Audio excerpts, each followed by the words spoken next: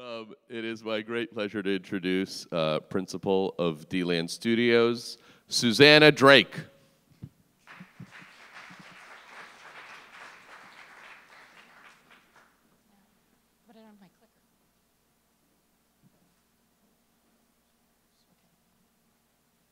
So, hi, hi. excuse me, my, my name is Susannah Drake. I'm the principal of, of D-Land Studio. Uh, it's an interdisciplinary firm in Brooklyn. And, um, and I'm here to talk about uh, ecology, public space, and infrastructure. Um, I want to start by suggesting that, um, or sort of dispelling a couple of, of myths. Um, one is that cities aren't about ecology. Um, the second is that landscape architects don't design cities. Um, and my third is that landscape architects and, and, designers all wear black.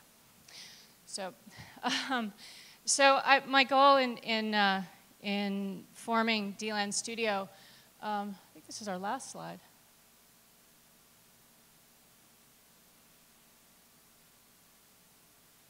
This is our last slide. I am I'm pressing point toward this. Okay, there we go. Sorry about that.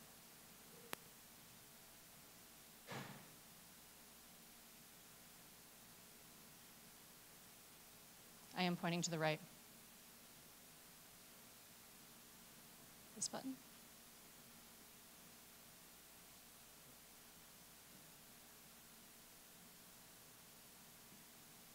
Well, in any case, um, my, my goal in, in uh, forming my practice is uh, to make cities work better.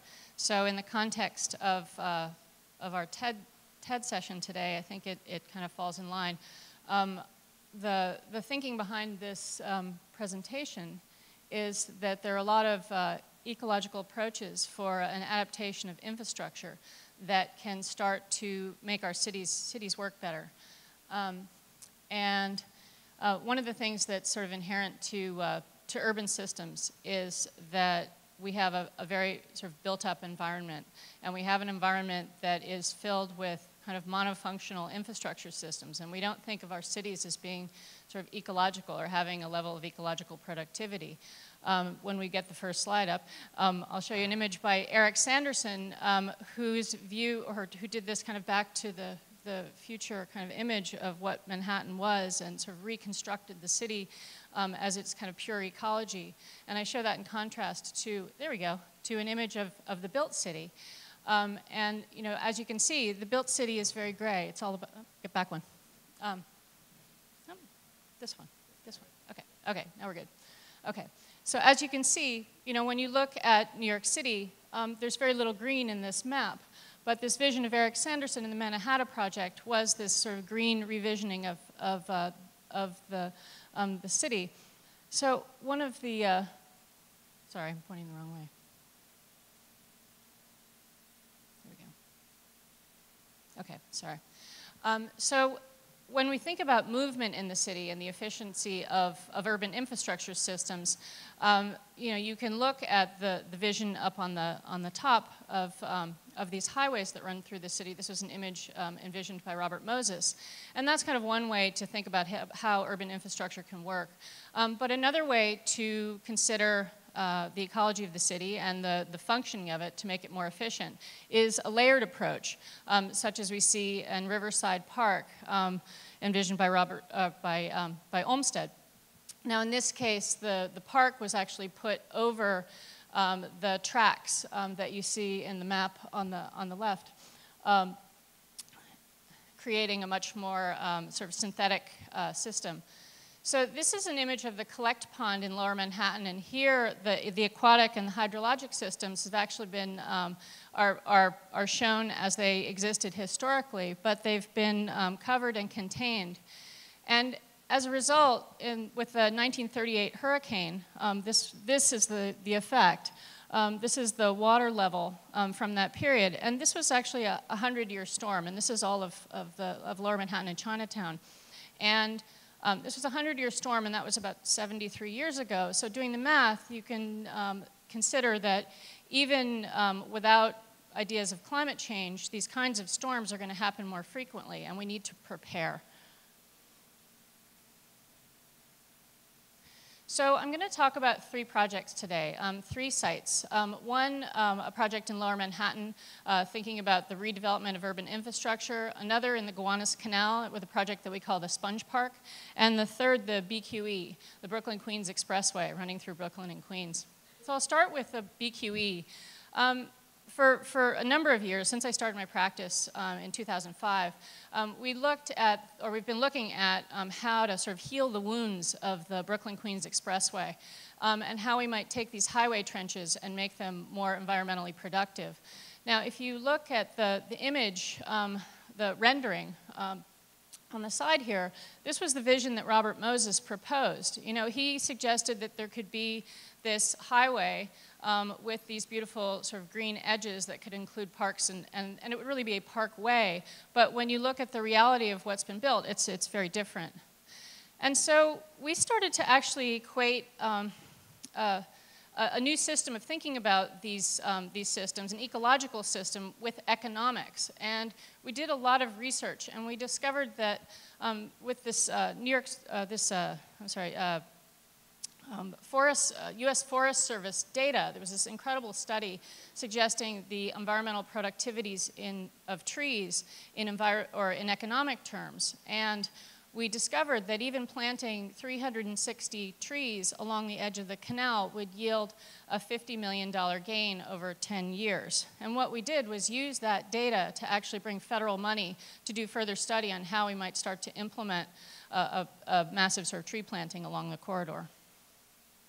So, and this is the, the sort of broad vision for how Carroll Gardens and uh, Cobble Hill might be transformed into a much more synthetic vision. This sort of looks back to, to Frederick Law Olmsted and thinking about how you might have these stacked infrastructures with the highway or the train systems um, sitting below a, a park system that could be an amenity for the community. It can be a flyway, it can be a place for, for bird and butterfly migrations. Um, so the next project I'm going to talk about is another way of thinking about sort of adding environmental productivity that has to do with water management in the city.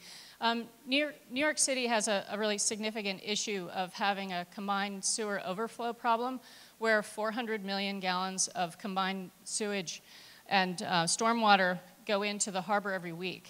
Um, and so what that means is you can see in the image um, over to the, on the bottom that you end up with very polluted waterways that have a lot of uh, sewage effluent um, floating in them. Um, so what we're trying to do is actually create a series of more permeable open spaces that can help to absorb the surface water runoff so you don't get as much of this combined effluent. So one of the, the, sort of early things that we did was to look at the watershed boundaries. And I don't know if all of you are familiar what a watershed is, but basically you have a sort of high point that exists um, around an area, and all of the water from that high point flows into um, the, the streams or wetlands um, that, that are at the bottom of the hill. And you don't really think of New York City as having a lot of topography necessarily, but, but it does. And there are a whole series of these watersheds. There are also things called sewer sheds, which are really the jurisdictional um, boundaries of how the water is managed. And so we mapped both um, in this diagram.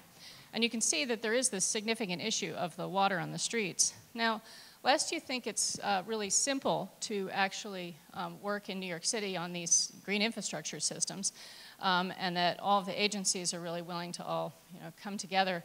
On, on some levels, it, it can be.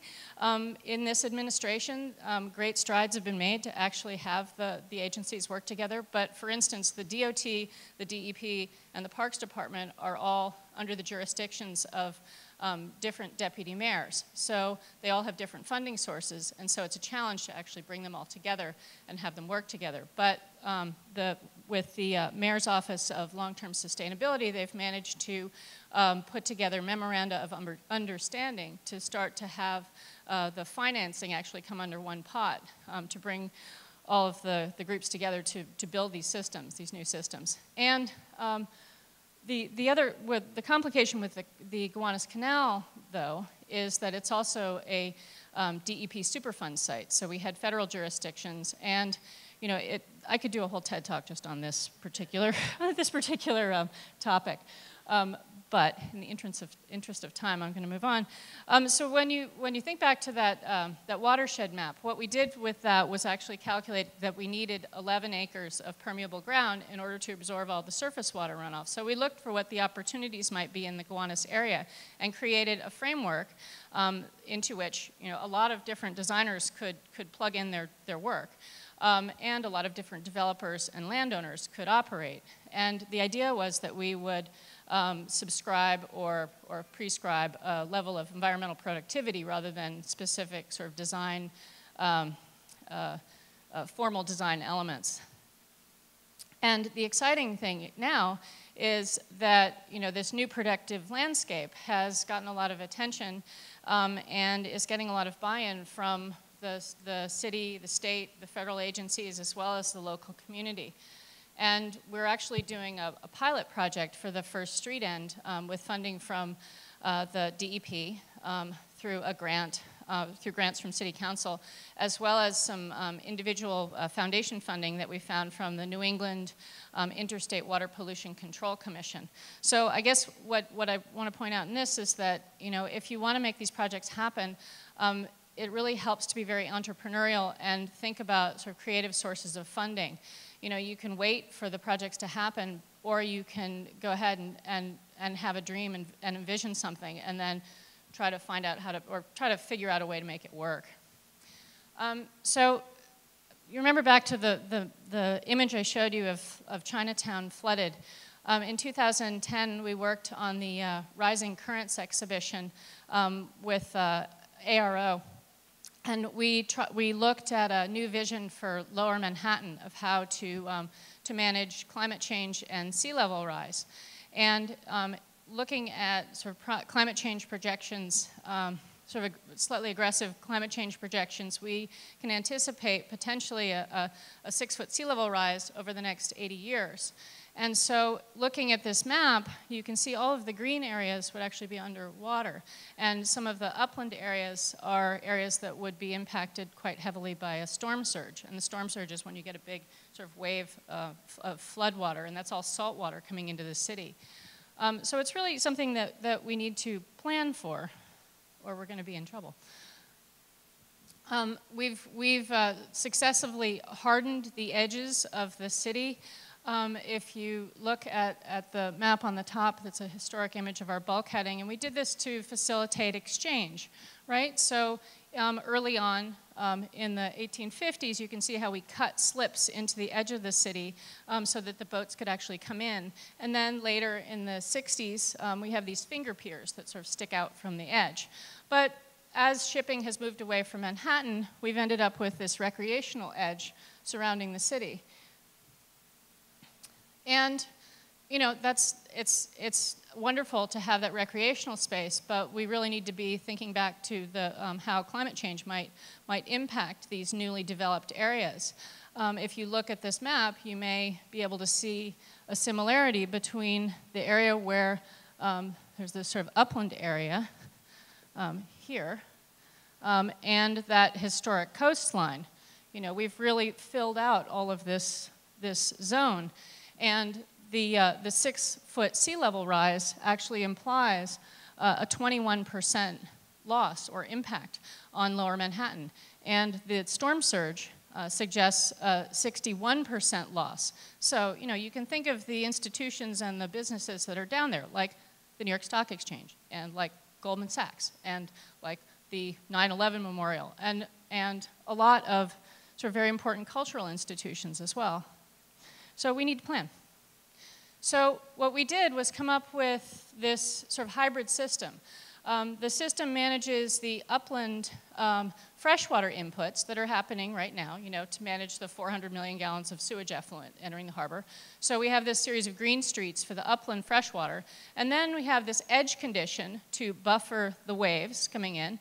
And then also a series of, of wetlands that can help to manage um, the water that will come in and then flow out along that edge. So we have this whole system of adapted infrastructure. We're taking all of the, the infrastructure that's now in the streets, the, the gas pipes and the sewage pipes and the water pipes and the, the um, fiber optic um, uh, cables, and we're putting the public infrastructure in one set of vaults under, under one side of the sidewalk, and the, the uh, public infrastructure under the other side of the sidewalk. And what that does is it frees up all of the space under the streets to be a permeable ground into which water can flow, just regular rain, right?